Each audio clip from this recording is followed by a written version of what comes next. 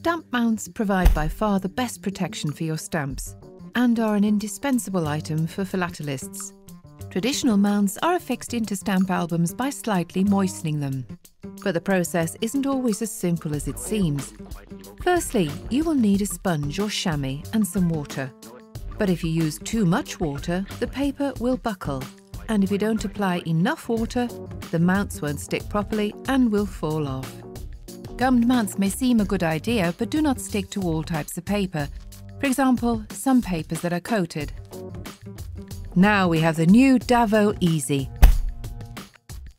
A self-adhesive mount that is easy to use and that does not require water, a sponge or a chamois. And as a result, the problems of the past have disappeared. No buckling paper, no mounts falling off. It is very simple. Once affixed, it sticks. So, how do they work? Carefully remove the protective paper from the mount and place the mount exactly in the right or left hand lower corner of the frame, depending on whether you're right handed or left handed. Put your finger lightly on the bottom, making sure the mount is not sticking to the paper yet. When the mount is exactly in the corner, place the mount vertically along the frame. Then lower the horizontal side and it will fall automatically into the correct position. Finally, press the adhesive strip lightly to secure it.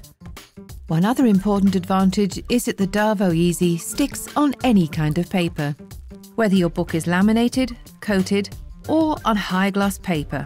It is very simple. Once affixed, it sticks. Try it out yourself. The Davo Easy, the self adhesive mount.